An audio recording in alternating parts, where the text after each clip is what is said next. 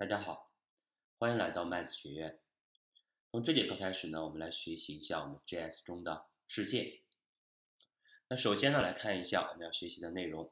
在事件这一块呢，其实我们的内容也比较多，但是呢，我们先把主要的内容先讲一下，包括以后要学到的这些事件的这个啊不同的事件类型。那我们可能通过一些实际的案例来大家来带着大家进行一个讲解。那接着来看一下事件。什么是事件？其实我们平时浏览网页的时候，经常都看到各式各样的事件。那我们的 HTML 是不是显示我们的网页的这个结构的？那 CSS 来美化我们网页的外观的？那接着我们的 JS 呢，就可以通过事件来与我们的网页进行一个交互。就拿我们 Math 学院为例，可以看一下 Math edu。你看，打开我们的 Max 之后，稍等，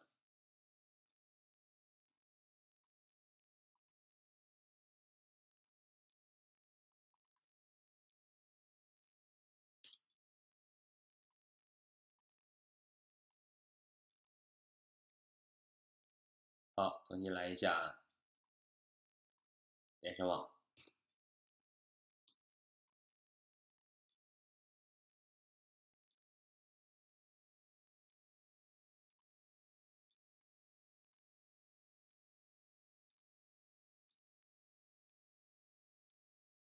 好，打开了。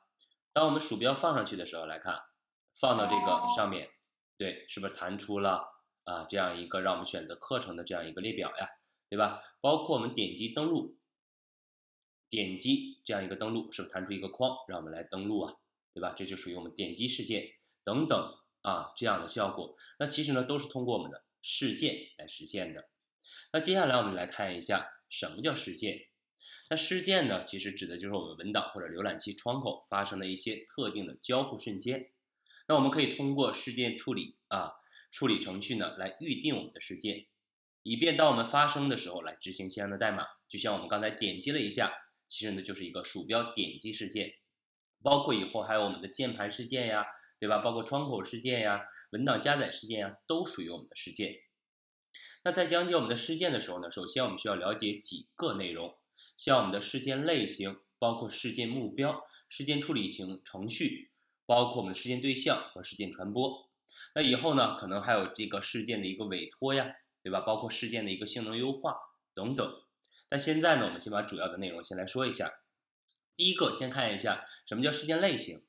那事件类型呢，其实就是发生了一个什么样类型的事件，对吧？是点击事件呀，还是鼠标事件呀，还是鼠标悬浮事件，还是键盘事件？它指的就是我们的一个事件的。类型，那接着再往下，那事件目标呢？其实也比较简单，就是哪个元素上啊发生了，或者说哪个对象上发生了我们这个事件。那事件目标呢，就是我们发生的事件或者与之相关的一个对象。当讲我们的事件的时候呢，我们必须同时指定我们的类型和目标。像我们 Window 上的 load 事件，或者说我们超链接上的单击事件，对吧？都属于我们的事件目标。好，那接着再了解一下什么叫事件处理程序。那这个也简单了。那事件目标我们有了，当我们发生事件的时候，那我们让它来执行某段代码。那这段代码呢，就是如何来处理我们这个事件，就属于我们的事件处理程序，对吧？像我们用户在页面中进行一个点击动作，像我们点了一个登录，是不是弹出了一个框，让我们进行一个登录啊，对吧？包括我们鼠标移动的动作、网页页面加载完成的动作，这都可以。对吧？那这些响应这些事件的一个代码，这就叫做我们的事件一个处理程序。这一块大家有个了解。那接着再往下，事件对象我们也要知道一下。那事件对象呢，是与特定事件相关且包含有有关该事件详细信息的一个对象。那一会儿呢，我们也会看到啊，这个 event 对象就是属于我们的事件对象。那事件对象呢，作为我们的参数。传递给我们事件处理程序函数，那所有的事件对象呢，都有用来指定事件类型的 type 属性和指定事件目标的 target 属性。那每个事件类型呢，都为其相关的事件对象定义了一组属性。啊，这一些定义我们先简单有个了解。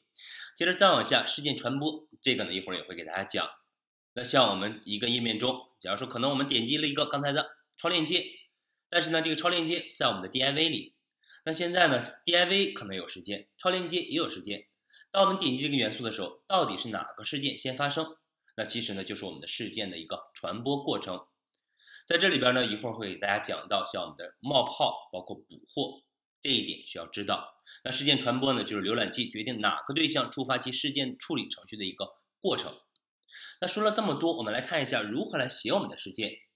在我们事件这一块，我们事件模型分为三种。最开始的时候呢，我们使用的都是属于我们的内联模型。那什么叫内联模型呢？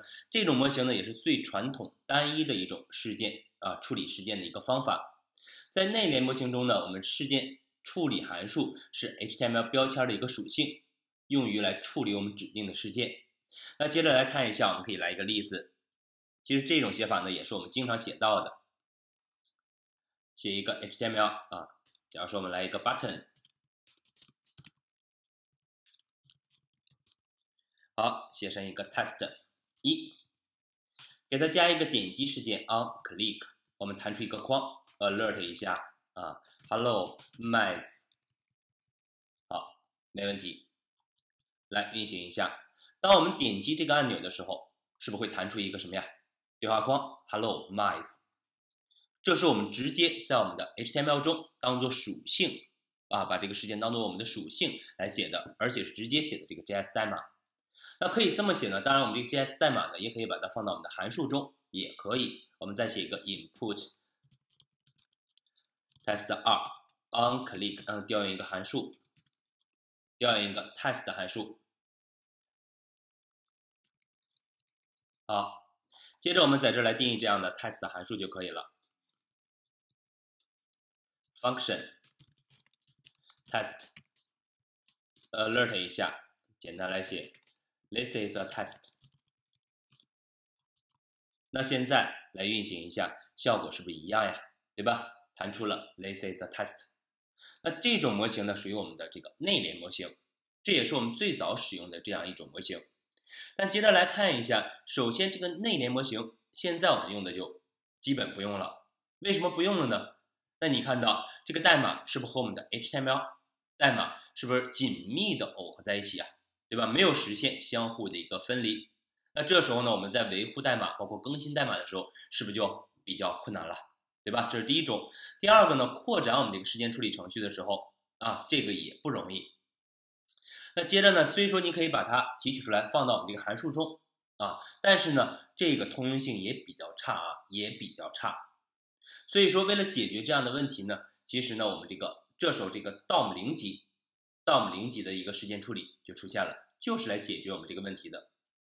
那怎么来解决呢？我们可以通过我们的脚本模型。第二个模型来看一下，在这儿脚本模型，你看我们也写了，由于内联模型违反了我们的 HTML 与 JS 代码层次分离的原则，为了解决这个问题呢，我们就可以使用这种脚本模型。其实呢，我们也可以把它叫做我们的 DOM 零级模型。那接着来试验一下怎么来做呢？我们再来再写一个 input button，还是一个按钮 test 三 id。写成一个 btn 一，接着在这儿呢，我们来可以通过它来写，直接在这来写一个。首先找到这个按钮 document 点 get element 来 id，根据 id 来找到它。假如说我们赋给这个 box，赋给这个 btn 一，找到之后呢，给它来添加一个单击事件。那我们可以直接来写。btn 一点上一个 on click 等于一个 function alert 一下，可以直接这么写啊，写成一个 btn 一 click。好，试验一下是否可以。你看到，首先我们是先找到了这个元素，接着给它添加了一个 on click 事件啊，这是一个单击事件，比较简单。这个呢，可能不用说，大家也知道。来试验一下，一点它。弹出了一个 btn clicked，这种形式是可以的。当然呢，我们也可以通过匿名函数的形式，或者说通过函数赋值的，这是通过匿名函数。我们也可以通过函数赋值的形式，也可以你看，我们再来定义一个，假如说我们再写一个 input button test 四 id 等于一个 btn 一 btn 二，接着呢，我们把它定义一个方法 function test 一 alert btn 二 clicked。接着，我们想给这个 btn 二按钮来添加事件的时候，我们可以直接这么写：btn 二，btn 二等于，首先也是找到它，document 点 get element id btn 二，接着通过 btn 二点 click on click 等于一个什么呢？直接把它赋给我们这个 bt 啊，赋给我们这个 test 一这个函数。注意不要加括号啊，不要加括号，直接把这个函数是不是相当于我们的匿名函数？只不过是这个函数名称了，把它赋给了我们这个 btn2 的 onClick，这就属于我们的事件处理程序了。那接着我们试验一下，当我们单击这个按钮的时候，是否可以 btn2 clicked，是不是也行了？这样的效果也可以。啊，也可以。这是呢，我们是将这个函数名称直接赋给我们这个事件，也没问题。那接着再看，可以来添加事件呢，其实我们还可以来删除事件。啊，接着我们再来写一个例子，input，假如说写一个还是 button 吧，test 五，btn 三，我们可以再找到它来直接写，我就通过匿名函数的形式了啊。btn 三等于 eg，写成一个 btn 三，接着呢，btn 三点 onClick 于一个 function。我想得到一下此时这个标记的名字也可以，我可以 alert 一下 list 点上一个 type name，来试验一下是否能得到我们的 button。啊，input 对 input 不是 button 啊，我们是 input type 等于 button。当然，你要写是 button 按钮呢，也可以，就可以得到我们的 button 了，得到这个元素的名字。当然呢，我们说还可以来删除这个事件。假如说我们不得它了啊，我们点一下来弹出一下，我们定一个 var 一个 count 数字，让它记到三的时候再把这个程序单击事件给删除，默认是零。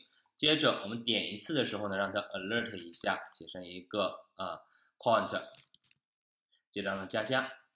判断一下，如果这个 count if count 等于等于三的话，此时我们把它删掉，把这个事件删掉。那删掉的时候呢，我们可以直接来写，我们可以把它赋给一个 none，写成一个 btn 三点是一个 onClick 等一个 none 就可以了。试验一下是否可以。刷新，零，一，二，接着。到三的时候，你看再点，还有这个单击事件了吗？对，没有了，相当于把它删除了。这样的效果也可以。这是我们第二第二种模型，也代表我们的什么呀？对，BT 啊，这个脚本模型。这是我们的脚本模型。但脚本模型还有它的问题，我们再看一下。假如说我们再来写一个 input test 六 id 等于一个 btn。四，现在我想给这个按钮添加多个事件，你来看，首先也是找到它，btn 四等于一个 document 点 get element by ID BTN 四，接着我们通过它点 on click 等于一个 function alert 一下，咱们简单的 a，接着我想再给它添加单击事件，添加两个，三个。alert B 再 alert C，那现在应该我想的是出现是一二三，弹出 A B C。当我们单击 btn 四的时候，弹出 A，再弹出 B，再弹出 C。但现在你来看，当我们单击这个按钮的时候，它能出现什么呢？来看，只出现了 C。那现在这多个事件处理程序在一个元素上添加可以了吗？不可以，这也是问题。那怎么解决呢？其实呢，此时我们用的比较多的就是我们可以通过第三种模型，第三种模型来看一下，就是我们的 DOM 二啊，DOM 二。那 DOM 二级事件呢，其实定义了两个方法来添加我们的事件和删除我们的事件。那这两个方法呢，用的也比较多，像我们的这个啊，像我们的这个 add，像我们这个 add event listener，包括 remove event listener 这两个方法。那之后呢，所有的 DOM 节点中都包含有这两个方法，并且它们接受三个参数。一会儿呢，我们来拿例子来看啊，像我们的事件名函数，包括冒泡或者捕获。那在使用它之前呢，我们先再来看一个啊，再来一个例子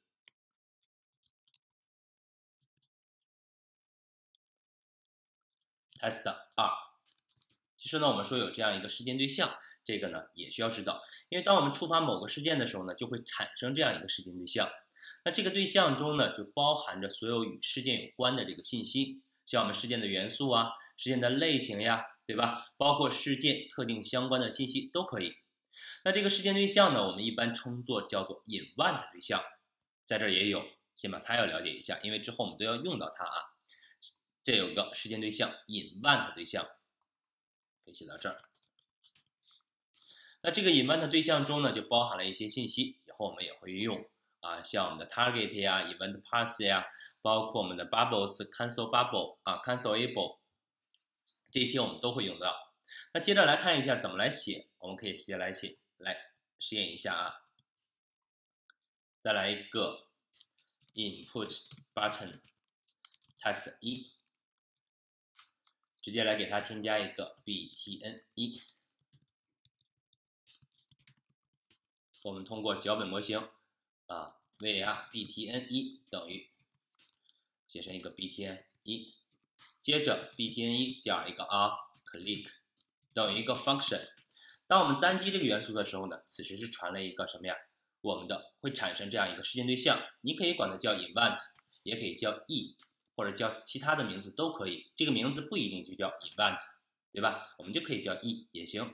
那接着呢，我们可以来看一下，alert 一下。E 点上一个啊，event 的 type 也行，或者弹出一下这个 e，看一下效果。那应该是一个鼠标单击，我们来运行一下。object mouse event 啊，鼠标对象。那接着你再看，我们可以弹出 e 点 type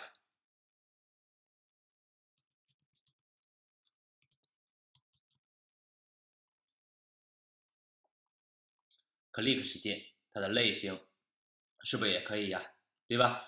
但是呢，这是我们在这个呃，像我们的 Chrome 啊，对吧？浏览器来得到的。那接着在我们的 IE 中是不支持这样的啊。IE 中的 invent 呢，需要这样来写，需要是 invent 啊，window 点 invent。这也是我们的一个兼容性问题啊，兼容性问题。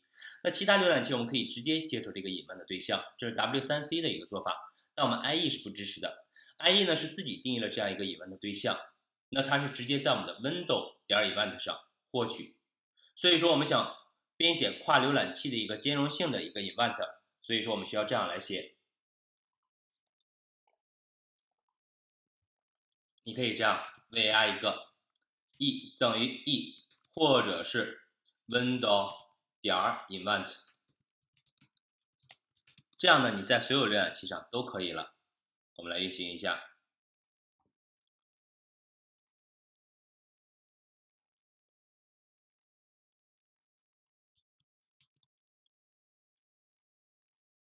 好，我这块报了一个错，vre 等于 invent 啊，不是 e 啊啊，是传过来这个 invent，或者是。Window 点 event 啊，我们没有弹，alert 一下 e，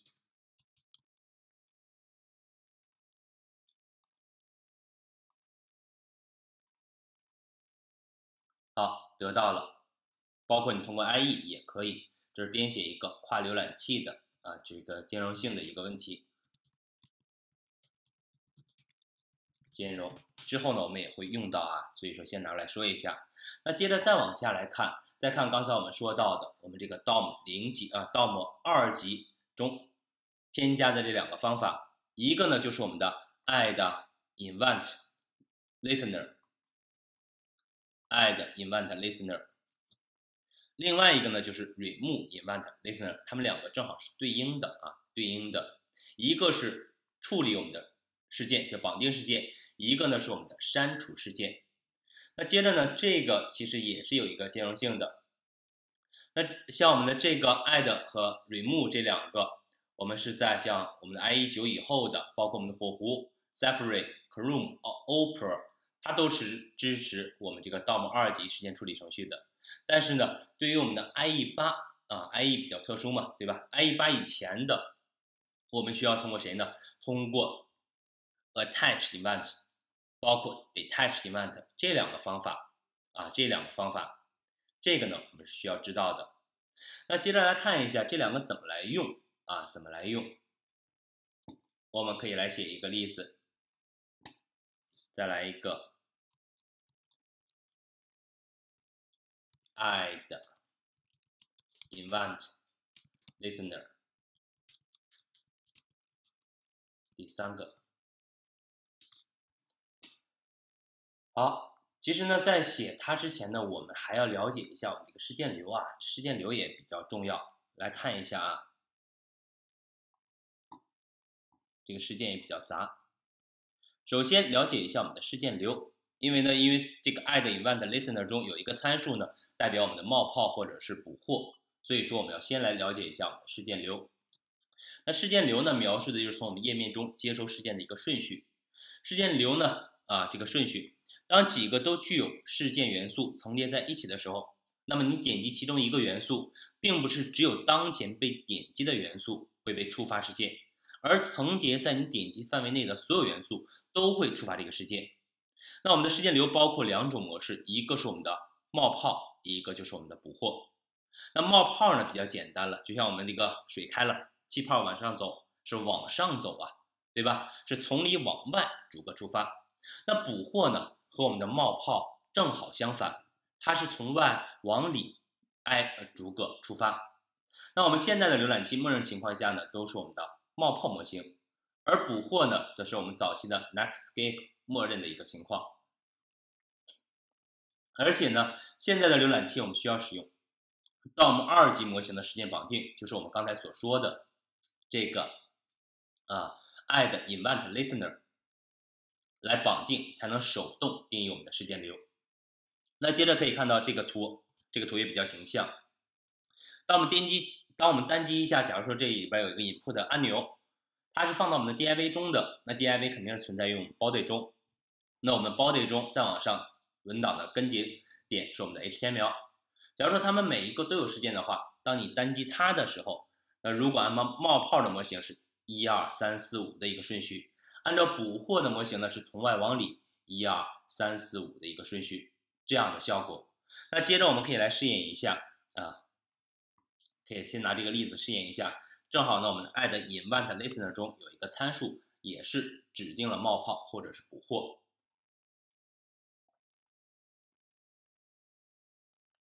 好，我们先来写一下 script 啊，先来一个 div 井号 box 一，这里边呢来一个按钮 input button test 一 id 呢 btn 一，好，这样就可以了。那接着我们把这个啊简单给它来一点样式，style color bg 写成一个井号 abcdef。宽度三百，高度三百，好，这样的效果。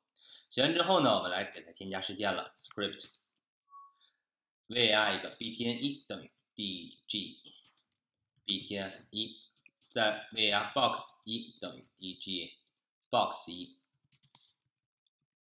好，btn 一调成一个啊，click 等于一个 function alert btn 一 clicked，接着 box 一调成一个啊，click 等一个 function，写成一个 box 一啊，div click 或者这块写按钮 btn button。好，那再往下呢，我们还可以找到像我们的 body，对吧？包括我们的 document，来在这再写，我们可以通过 document 点 body 点 on click function alert 一下 body 点啊 body click。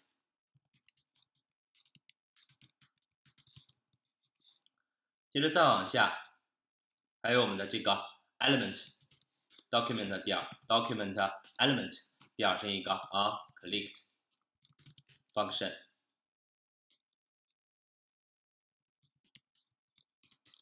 alert 一下啊，就 this is a test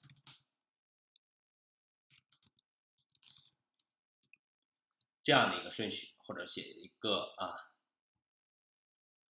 写成一个。HTML 吧，啊，HTML collect。那最后呢，我们还有我们的 document，调成一个 on click，写成一个 document collect。来，添加了这么几个事件。那接着我们来试验一下，当我们单击这个按钮的时候，你来看，应该是按钮被点击了。那现在接着你看，我点确定之后，div 被点击了，body 被点击了，html 被点击了，接着 document 被点击了，这样的一个顺序。那这是一个什么顺序呢？其实我可以在这来写，先是 button，接着 div，接着是我们的 body，接着是 html，再往下是我们的 document。那这样的一个顺序呢，其实就属于我们的冒泡。属于我们的冒泡，对吧？啊，这样的形式。如果说想取消冒泡呢，其实也可以，也可以。假如说我们只想点击谁的时候呢，点击我们按钮的时候，只有按钮这一块事件触发，不再往上冒泡了。想取消冒泡，我们可以在这儿来，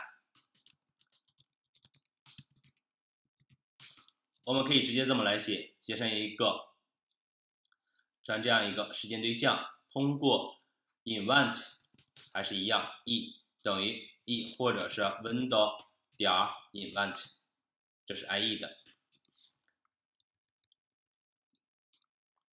接着呢，我们可以来取消。那 W3C 的取消取消冒泡的形式呢？W3C 取消冒泡可以通过 e 点是一个 stop properly propagation 啊来取消。那你来试验一下。刚才还是弹出那么多呢，现在再点它，你看，我们只在按钮上取消了这个冒泡事件，它是不是不往上弹了？当你点击这个 div 的时候，你看 div 被点击了，body 被点击了，html 被点击了，document 被点击了，它没有取消这样的效果啊。但是呢，w3c 取消冒泡没问题。那如果是 IE 的话，我们 IE 取消冒泡，我们可以通过的是啊，有一个属性 cancel。刚才也看过这个隐瞒的对象的一个属性 bubble，把它设置成 true 也可以取消了，对吧？但是我们可以来编写一个啊，编写一个什么呢？你可以来看一下这个属性是否为真。我们可以 alert 一下，e 点上一个 cancel bubble，试验一下啊，false。那如果它是 false 的话，我们就可以把它定义成一个 true 这样的效果。那我们可以来编写一个兼容性的判断一下就可以了啊。判断一下 if type of e 点 cancel bubble，如果它要等于等于 undefined，这时候呢，我们就可以通过我们这个 W3C 的 stop propagation 来取消。else 呢，我们就把它设置成一个。e 点 cancel bubble 设置成 true 就可以了，这样的效果啊，这样的效果。那你现在你看，我们按钮想取消的话，直接这么写就没问题，取消了。在我们 IE 上也可以啊，IE 上也可以，因为我这里边没有 IE 浏览器啊，我们没有装，你可以自己来试验一下啊，自己来试验一下。这是我们这个冒泡。